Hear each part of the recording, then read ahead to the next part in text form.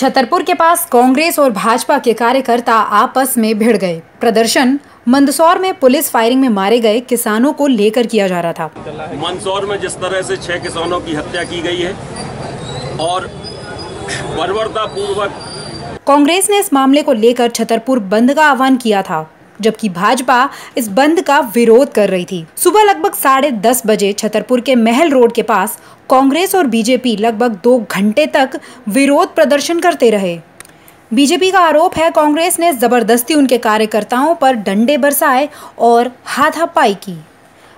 यहाँ पर व्यापारियों के ऊपर कांग्रेस पार्टी के लोग उनके शटरों में डंडा मार रहे थे, उनकी दुकानें बंद करवा रहे थे और कह रहे थे अगर दुकान दोबारा मैं आता हूँ, दुकान खुली मिली तो हम फूक देंगे दुकानें।